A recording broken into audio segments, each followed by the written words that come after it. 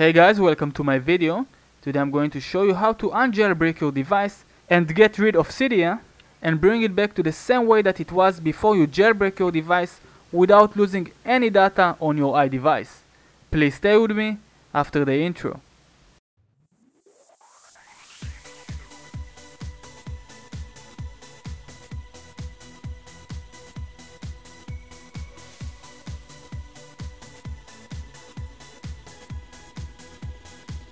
Connect your iDevice to your computer and then launch iTunes. Click on your device name on the right top corner and here you can choose whether to backup your device to iCloud or to this computer which I suggest. Click backup now and you can see the backup process over here on the top of the screen. After you backup your device click restore device and then click restore. Click next and then agree iTunes will start download the new iOS version. You can see the progress on top of the screen. When the download completed, the restore process will start. The restore process will take about 10 minutes, but you're viewing it in fast forward mode.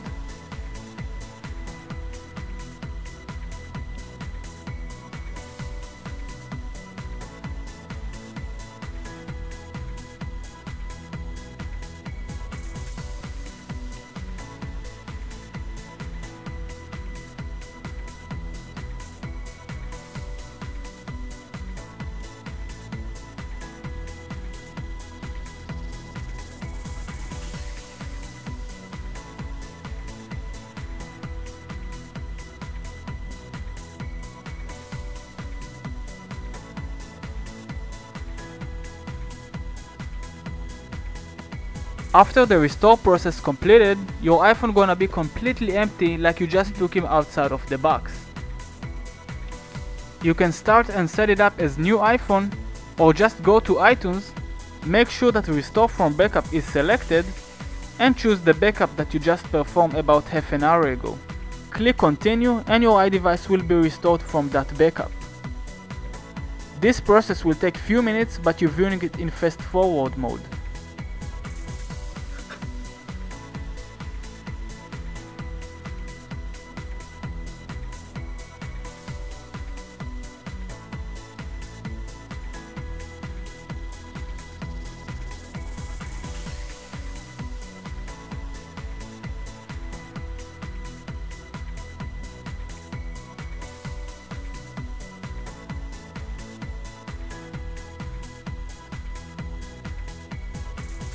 After this restore from backup will be completed, you will have everything that you used to have before you jailbreak your device and that include picture, text messages, browser history, songs, etc.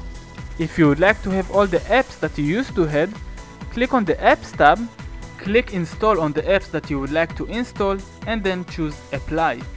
You can see the installation process on the top of the screen. Now after the installation completed, your iDevice is exactly how it used to be, just without the jailbreak. Alright guys, please like the video and share it with your friends.